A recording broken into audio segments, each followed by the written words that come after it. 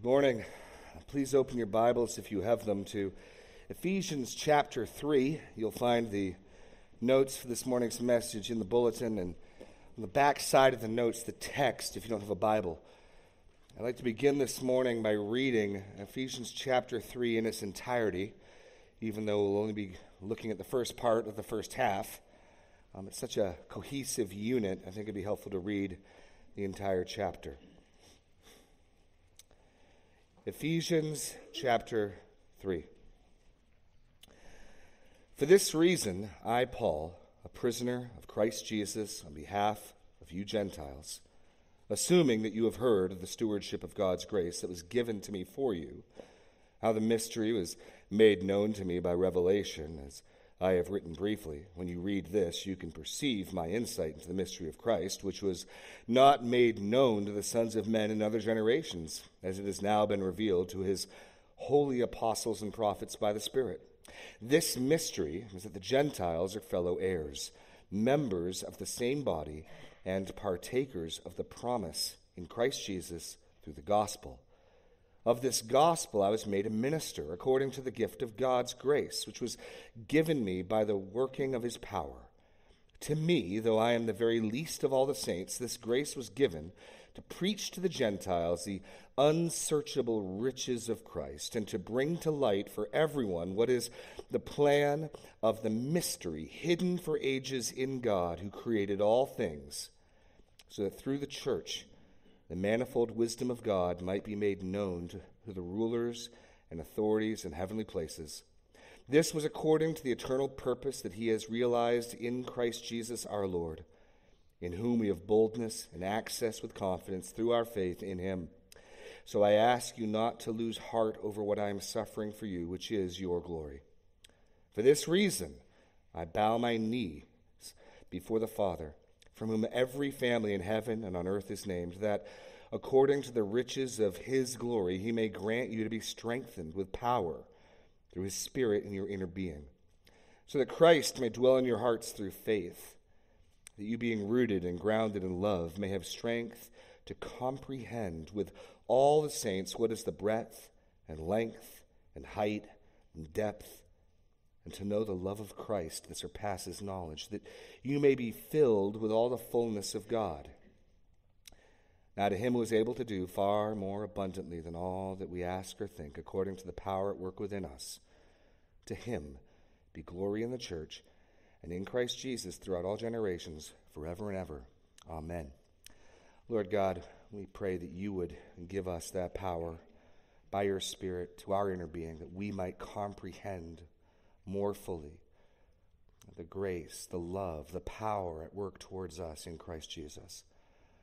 Lord, as we review realities and truths that I'm sure in one sense are not new to us, help us to grasp the significance, the importance. The Apostle Paul is convinced that apart from your power and your spirit, we will not properly understand these things. So guard us from a superficial understanding and help us to uh, behold your power at work, your goodness, your love in Christ for us. In Jesus' name, amen. I'd like to begin by way of review. Hopefully, by the time we finish Ephesians, you'll know it pretty well inside and out. Structurally, if you'll remember, it's divided in half. The first three chapters primarily covering doctrine, and the, and the last three chapters covering duty or application. Uh, the Apostle Paul lays out truth in the first three chapters, and he applies truth in the latter three chapters. We're, we're nearing, we're beginning chapter three now. And so, as you look at the first three chapters, they divide each chapter separately. The first chapter, composed, if you look at it, chapter 1, after a brief introduction, verses 3 through 14, are a, a long blessing of God. And, and Paul is praising God for what he's done on behalf of the Ephesians. But there's a sense in which Paul assumes they know this or they know some of this already. But then, after that benediction, as he focuses on the Trinitarian's God work at his work in saving them, he moves to a pastoral prayer.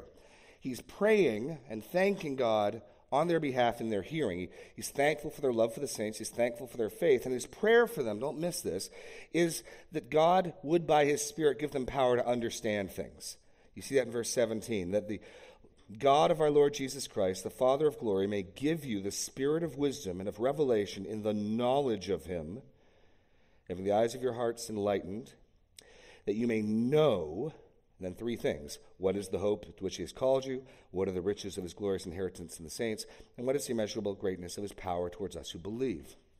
So, chapter one ends with this prayer for God's enabling by his Spirit to understand, to know divine realities. And he particularly wants to understand the power that's at work in them. And then chapter 2 contains two grand contrasts, two before and afters. First, individual and vertical, dealing with our deadness before God and, and our reconciliation to Him. And then the second before and after, the second great contrast, is a corporate problem. As Gentiles, what has God done to bring us in, we who are far away? And we spent the last seven weeks going through chapter 2. Well, now in chapter 3, Paul begins by applying this. He starts with for this reason.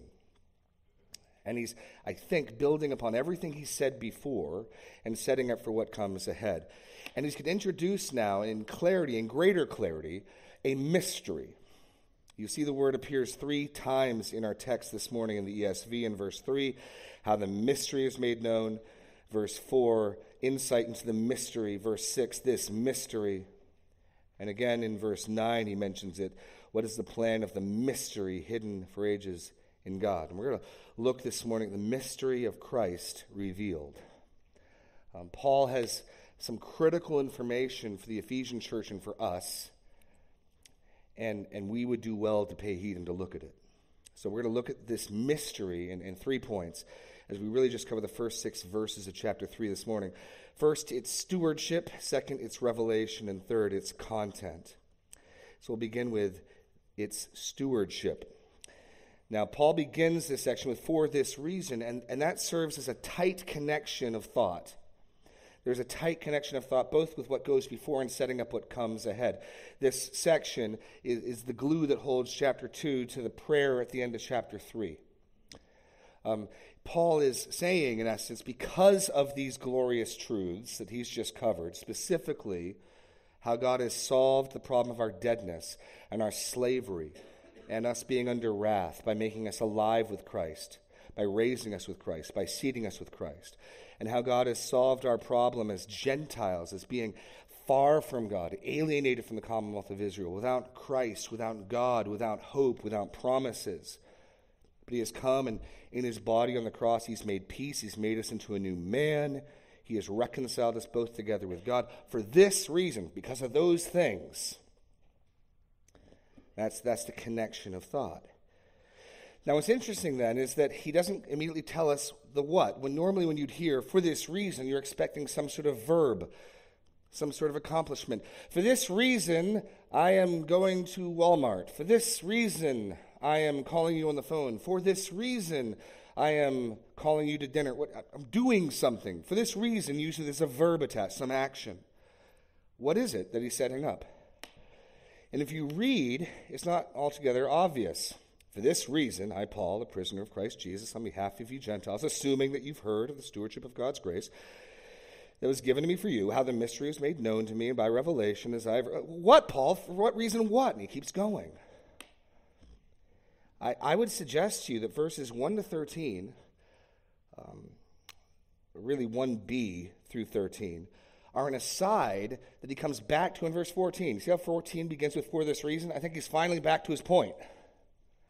It's one long, here's your blank, introduction to Paul's prayer.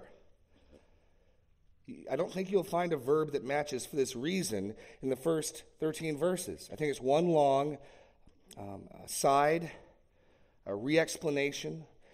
In other words, Paul's getting ready to pray. That the, for this reason, really, is for this reason I pray. For this reason I bow my knee. But before he can get to that prayer, he's got to reiterate and lay out again some of the things he's already said. Okay? So you can read through that, you can confirm what I'm saying, but I'm, I'm, I'm pretty confident that the for this reason of verse 1 really ties in with verse 14. What that means then is the content of chapter 2 is sandwiched by prayer. Chapter 1 ends with pastoral prayer, and what was the main emphasis of that prayer? That God would, by his Spirit, give them power and revelation to understand and to know things. Well, let's take a look at the, the emphasis of his prayer in chapter 3. Verse 14 For this reason I bow my knee before the Father, from whom every family in heaven and on earth is named, that according to the riches of his glory he may grant you to be strengthened with power through his Spirit in your inner being, so that Christ may dwell in your hearts through faith, that you, being rooted and grounded in love, may have strength to comprehend with all the saints what is the breadth, the length, the height, and the depth, and to know the love of Christ that surpasses knowledge. I think it's a prayer again for understanding, that they would comprehend, that they, verse 19, might know. So if, if I'm right on that, then what you've got is chapter 2's content, the two contrasts, is sandwiched on either side by prayers by the Apostle Paul that his readers might understand and comprehend what he said. That tells me the content of chapter 2 is central and critical in Paul's mind. He, he sets it up with a prayer. Before I tell you what I've got to tell you, I want to let you know I do nothing but pray that you might have the ability by God to understand. He says it, and then he closes, Oh God, that you would help them to understand what I've said which means the content of chapter 2 is probably more important, more foundational, more critical than we hitherto would think. Especially as you see as we look through these verses, he's going to reiterate and repeat some of the things he's already said. So as we place this text in Ephesians, we're on the other side of those two contrasts. He's getting ready to pray, but before he can pray, he's got to say it again. He's got to add some more content. He's got to add some more details. But that's, that's Paul's thought, I believe. For this reason, there's a tight connection of thought, and Ephesians 3 1 to 13 is an introduction to Paul's prayer. And then we get I, Paul, which is emphatic. Uh, Paul only uh, writes this way 10 times in his letters. I, Paul.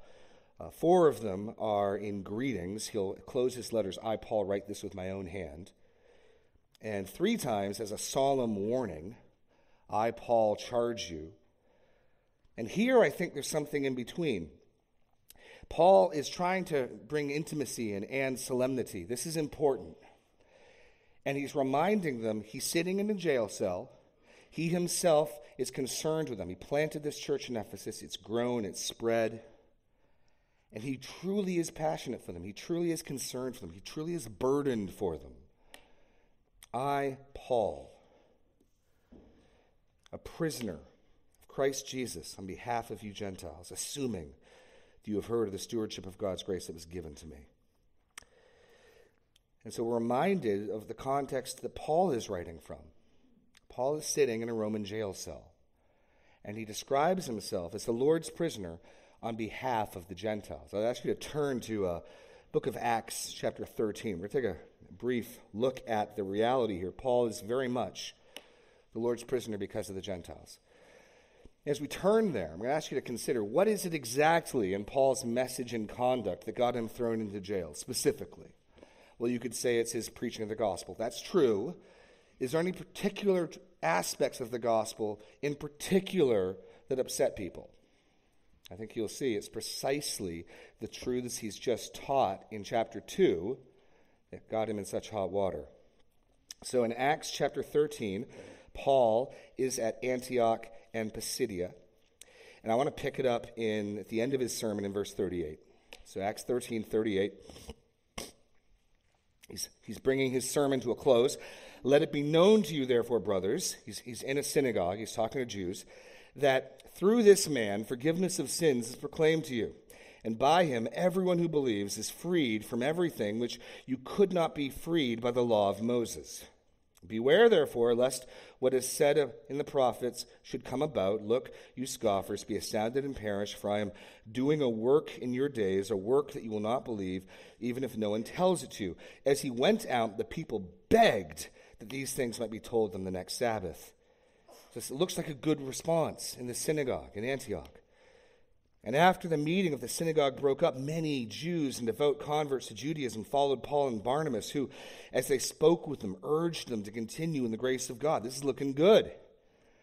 The next Sabbath, almost the whole city gathered to hear the word of the Lord. But when the Jews saw the crowds, crowds of Gentiles, when the Jews saw the crowds, they were filled with jealousy and began to contradict what was spoken by Paul, reviling him. And Paul and Barnabas spoke out boldly, saying, It is necessary that the word of God be spoken first to you, since you thrust it aside and judge yourselves unworthy of eternal life. Behold, we are turning to the Gentiles. For so the Lord has commanded us, saying, I have made you a light to the Gentiles, that you may bring salvation to the ends of the earth. When the Gentiles heard this, they began rejoicing and glorifying the word of the Lord, and as many as were appointed to life believed. And the word of the Lord was spreading through the whole region, but the Jews incited the devout, devout women of high standing and the leading men in the city, stirring up persecution against Paul and Barnabas, and drove them out of their district. It is precisely Paul's inclusion of the Gentiles without demanding that they become Jews, without demanding that they become circumcised and adopt the law of Moses, that is making the Jews jealous and stirring up the persecution. They initially like his message until they see him freely offer it to the Gentiles. The whole city comes out. They become jealous and they stir up persecution.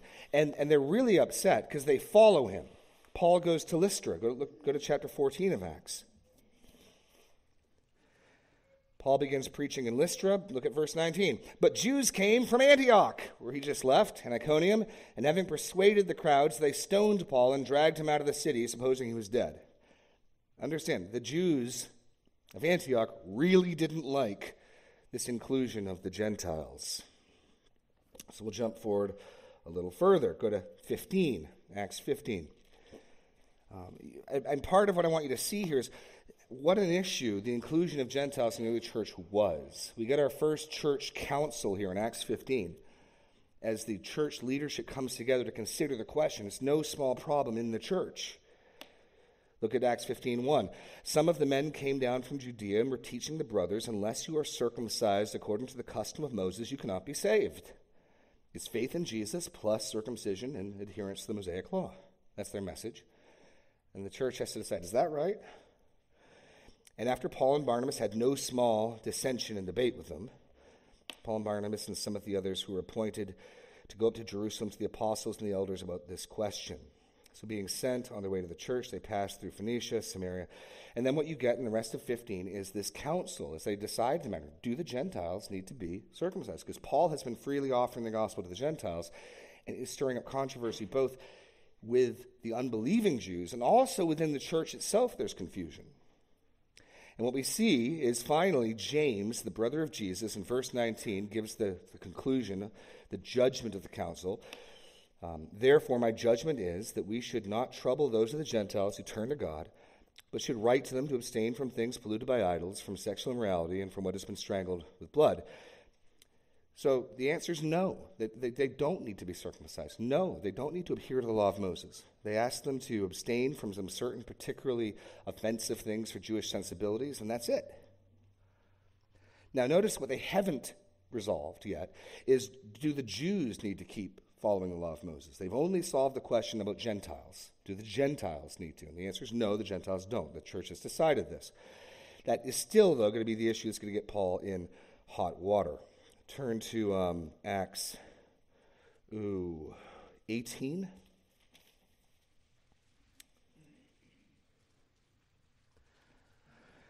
Where again, I mean, if you read through the book of Acts, um, the, the overwhelming majority of Paul's persecution and trouble comes from the Jews who are jealous and angry that he's preaching and offering their promises, their covenants, their Savior to the Gentiles.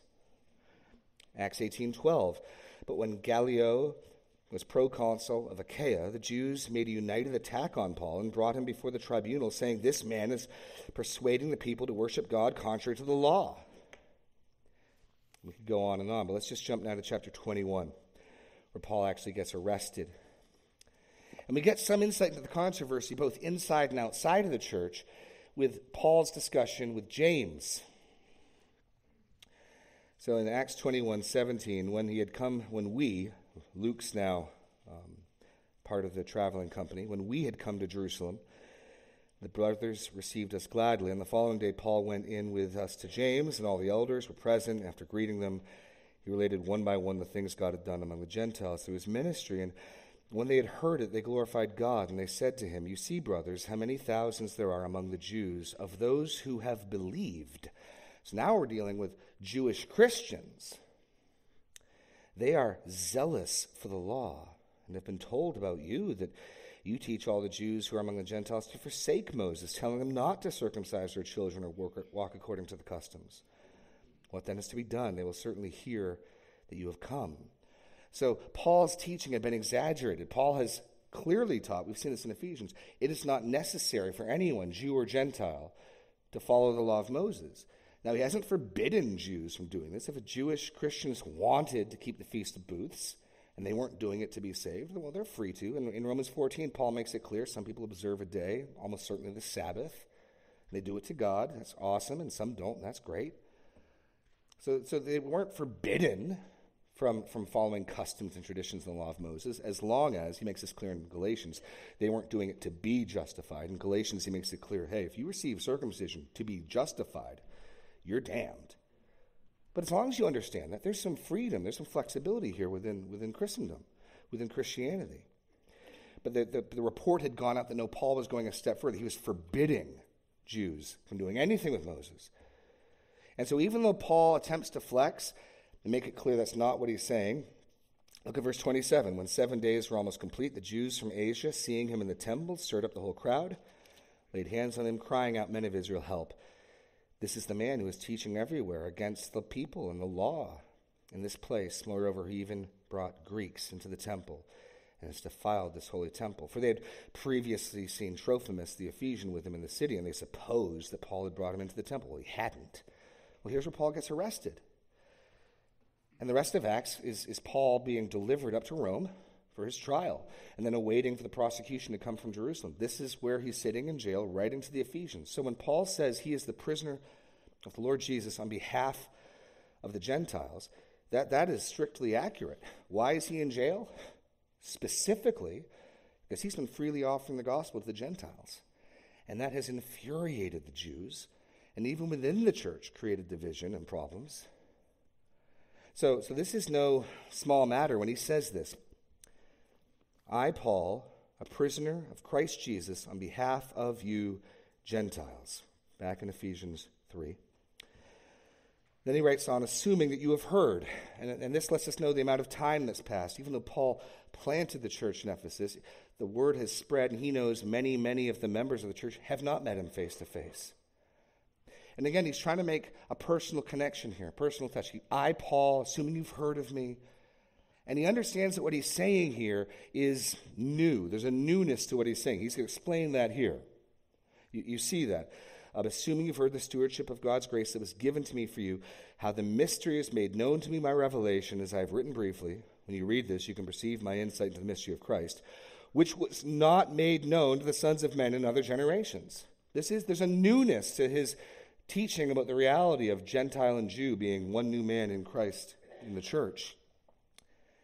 And so before he prays, and he will pray for their understanding, he, he wants to explain some of this further. Assuming that you have heard of the stewardship of God's grace given to me.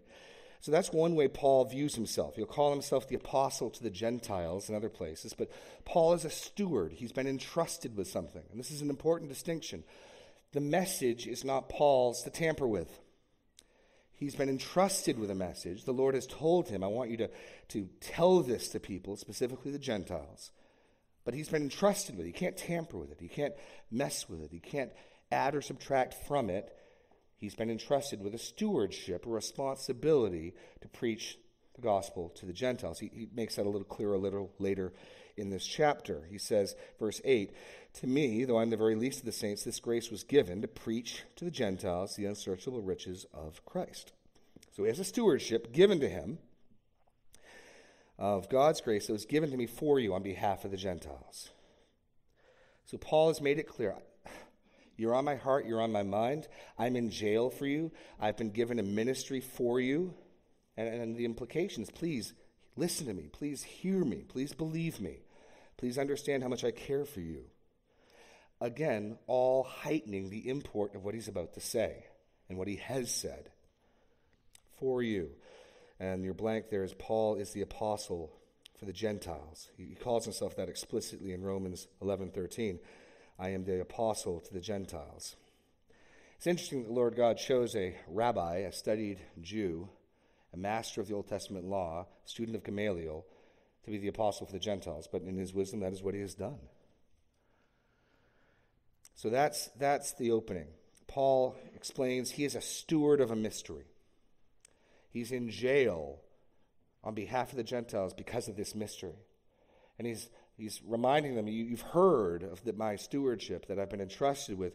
Now we're going to go to its revelation. Uh, its revelation. This mystery is revelation. So he, he's been entrusted with a stewardship. And again, I think the reason he's highlighting this is this is something new. And this is something to some extent you cannot prove from the Old Testament.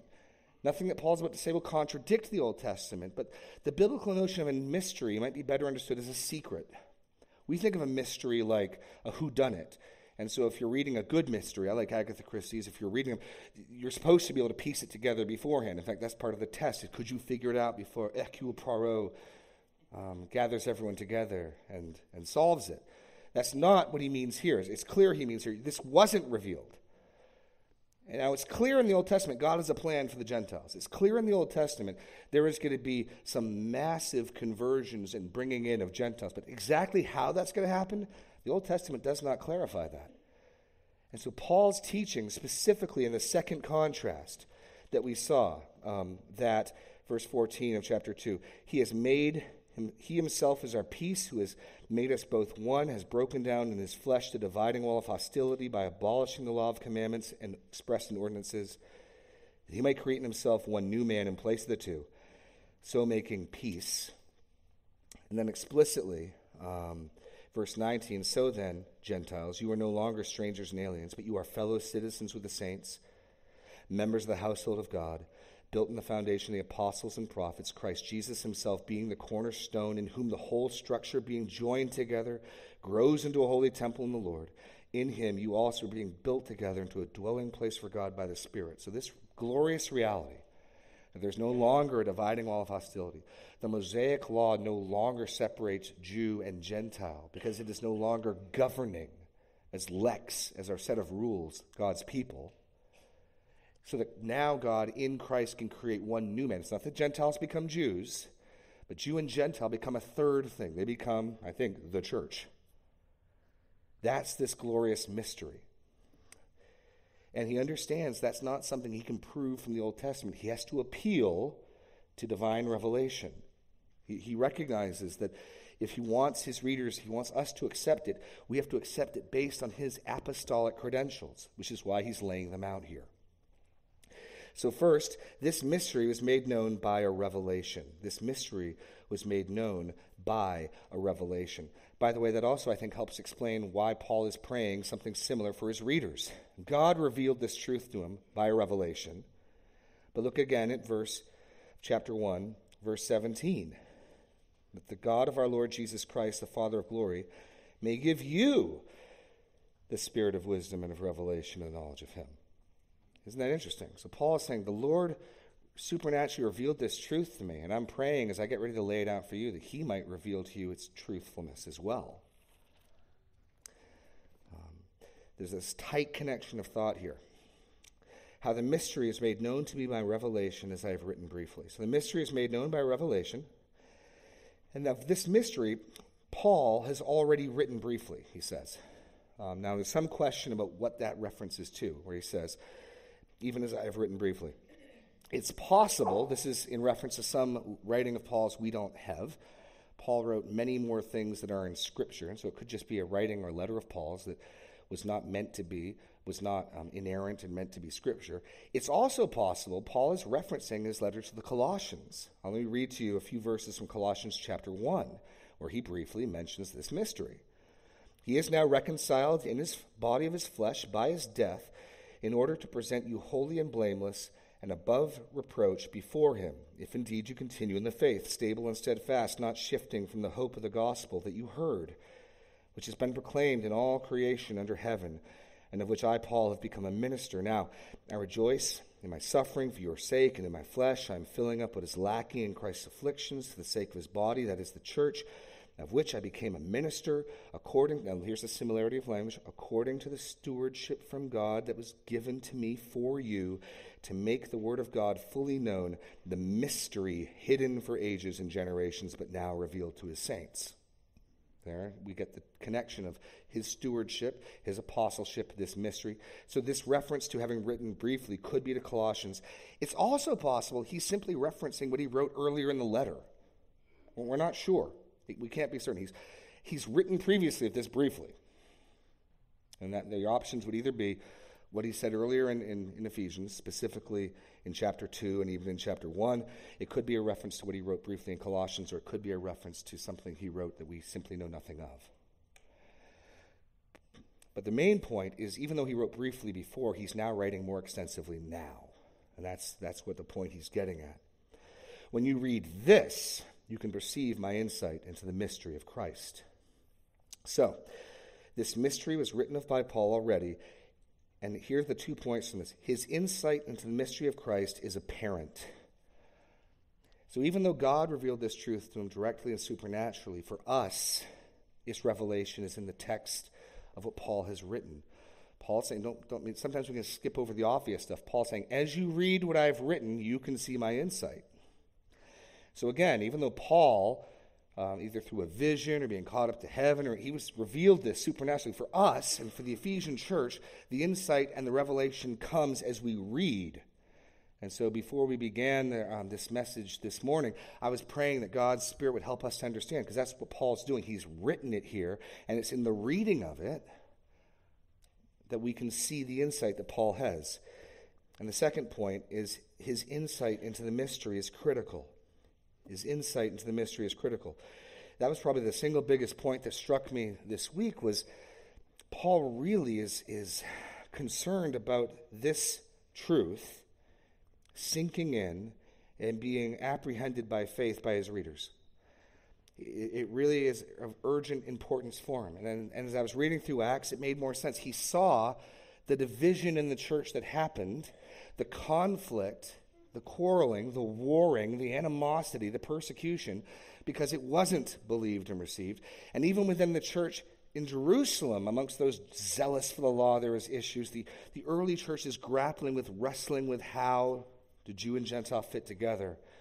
And Paul, sitting in a jail cell in Rome, is burdened with the church at Ephesus, and burdened, I think, by extension, that we would understand the, the unity that we have, the oneness we have in Christ.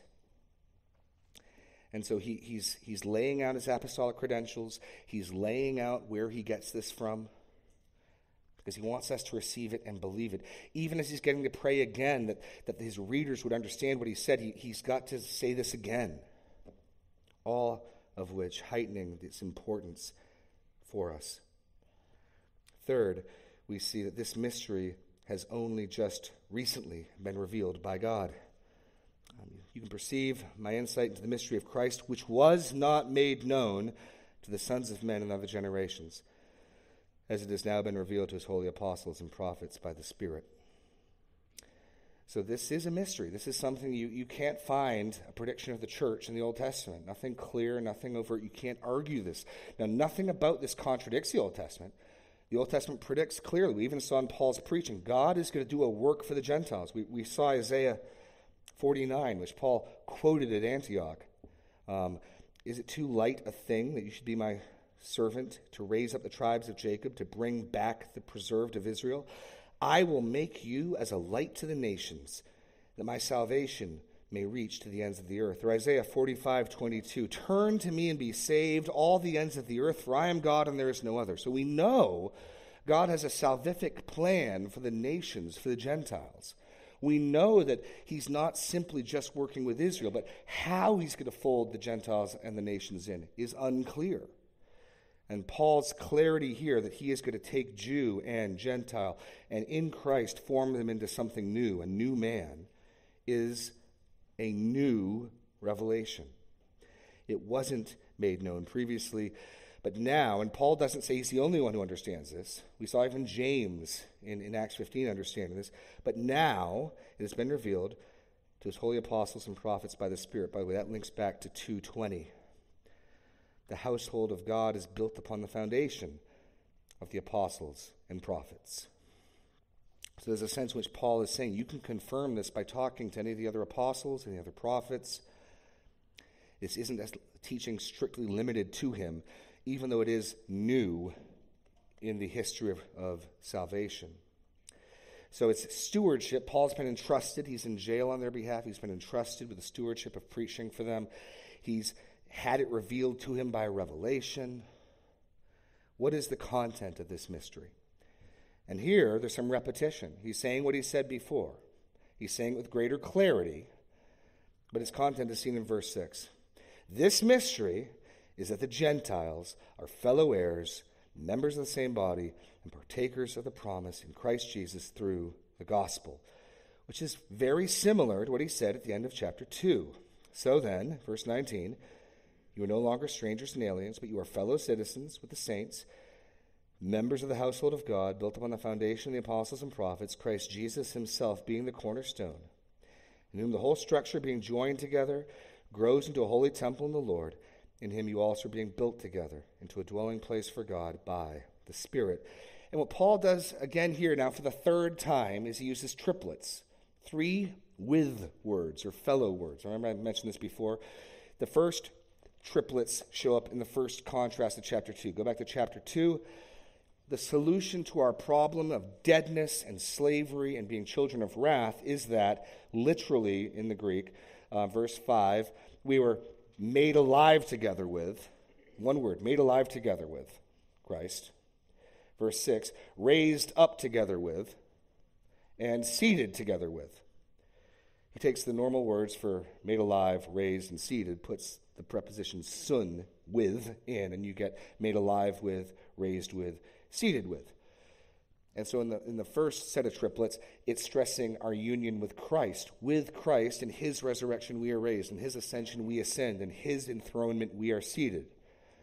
And then in the second contrast, we get three more of those with words, but now stressing our horizontal union. We are, in verse 19, citizens with, sun politoi, with citizens. We are, verse 20, um, 1, joined together with, and 22, built together with. Well, here, same pattern. We have three with words. I'll give them to you first and we'll talk through them. Point A we are fellow heirs or heirs with, fellow members or members with, and fellow partakers, or you guessed it, partakers with, however you want to do it. That's how he's going to describe the mystery. And again, the horizontal reality is what is being emphasized. Gentile and Jew, or for our purposes, everyone in this room, rich or poor, young or old, male or female, single, married, educated, uneducated, whatever, we are fellow heirs, fellow members, and fellow partakers. Let's just briefly work through these glorious realities. The Gentiles are fellow heirs. Um, that, that piggybacks off of what Paul said in chapter 1. If you turn back to chapter 1, verse 5, he predestined us for adoption to himself as sons through Jesus Christ according to the purpose of his will. So he predestined us for adoption, which sets up the basis of an inheritance, which we see in verse 14. Who is the guarantee? The Holy Spirit is the guarantee of our inheritance until we acquire possession of it. But this is, first and foremost, a Jewish way of thinking. Remember when the rich young ruler comes up to Jesus?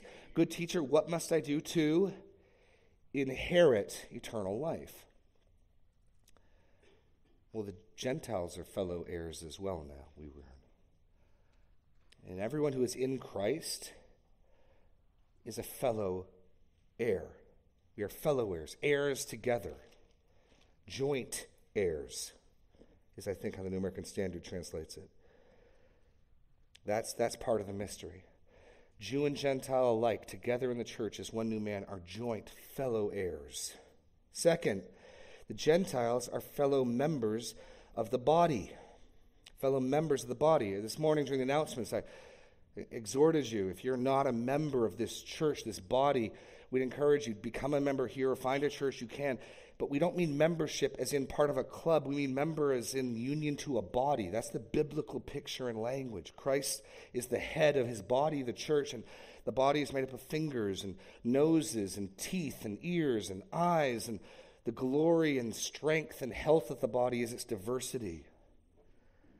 And, and we dishonor this reality when we treat the body like any number of fast food restaurants where if you don't like the sale they have at McDonald's, you go to Burger King. And if you don't like the time of this service and you like the worship, you go to that church. The, the reality Paul wants Ephesians to grapple is that in a real sense, we are co members of a body. And one of the ways we recognize that is by affirming and verbally recognizing this is my body and I'm co members with the people here. And, that's what we mean when we say we think the Lord would have us unite together in a bond of membership, membership of a body, not a social club. The Gentiles are fellow members. And I, one of the reasons why I think the realities that Paul is grappling with here don't jump off the page is so important to us is because in the day where he's writing, tribal affinity is huge. We've gone to almost the opposite extreme where we're so individualistic, we hardly view ourselves as members of any groups.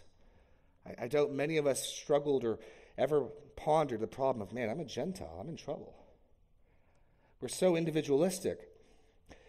So, for us, perhaps the other reality is recognizing these truths are true insofar as they're true of us corporately together. You're an heir in so much as we're all heirs. You're part of Christ's body in so much as we're all part of Christ's body together. That, that can oftentimes be the challenge for us, is recognizing that it's not just me and Jesus walking off into the sunset, but He saved me into a body. He saved you into a body.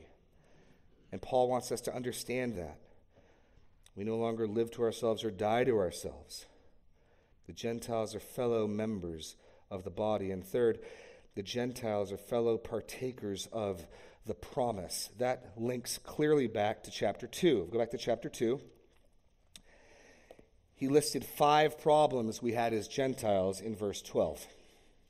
In each of the before and after contrast, and this is the second contrast, he lists the problem. And the problem is stated in verse 12. Five problems, and he's one by one addressed most of them, answered most of them. Remember that you were at that time separated from Christ. Well, now we're in Christ. We were separated from Christ, but now we're in Christ. Alienated from the commonwealth of Israel. Well, now we are fellow citizens with the saints. Not members anymore of Israel, but both Israel and Gentile are now fellow citizens of a heavenly city. Strangers to the covenants of promise. And here's where he answers that problem. Now we are fellow sharers or fellow partakers of the promise. So he's again solving the problem brought up in the second contrast. It's interesting, by the way, it was promises plural in verse 12. Now it's a singular promise, the promise in the gospel. God promised a Messiah to Israel. He promised first to the woman that her seed would crush the head of the serpent seed. He promised Abraham that in his seed all the families of the earth would be blessed.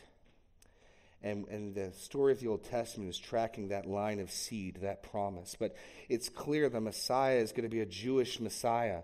In Psalm 2, the kings of the nations who are raging against the Lord and against this Messiah are, are warned to do homage, to do fealty, to bow the knee to this Jewish Christ King and Son.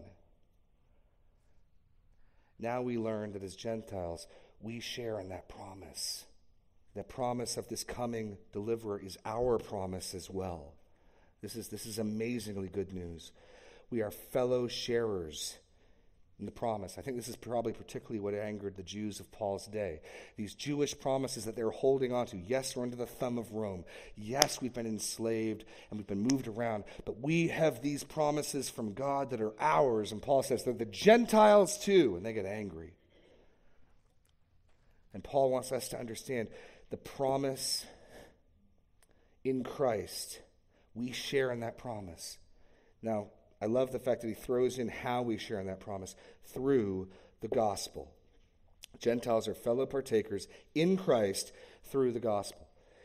And Paul, we saw this in Acts, freely preached to anyone who would trust in Christ, to anyone who would turn to him in faith, from anyone who would turn from their sin to him, can share in this promise. The promise is for all who believe. Uh, I'll go back to Acts 13, his opening sermon that angered the Jews. I'll, I'll read Paul's words again to you. Let it be known to you, therefore, brothers, that through this man forgiveness of sins is proclaimed to you, and by him everyone who believes.